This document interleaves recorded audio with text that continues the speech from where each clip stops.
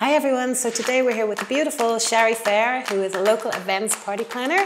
Shari, say hi to everyone and tell us about your business and the type of parties that you sure. organize. Sure, I've done corporate events for over 10 years, and then when I left, I started doing parties at home with kids' parties, bridal showers, baby showers, bat mitzvahs, weddings. No party is too big or small. So many parties. So what makes a party stand out? So must-haves for parties, definitely the entertainment. We want to keep the people busy, tarot card readers, DJs, clowns, face painters, roaming photo booths. And then you want a theme, so the decor is really important, whether it's a candy table or a balloon arch. And then finally, it's that Instagrammable moment of the wonderful cake that should not only look good, but should taste good too. That's true. So That's important. because you can often have these amazing cakes. And, yeah. So Shari, any inside scoop on the most outrageous party that you've organized? Come yes, on. just recently, it was the second birthday and it was too cool to be two. And they had a DJ and a spin art table, as well as a trucker hat spray paint station with this beautiful neon splatter cake.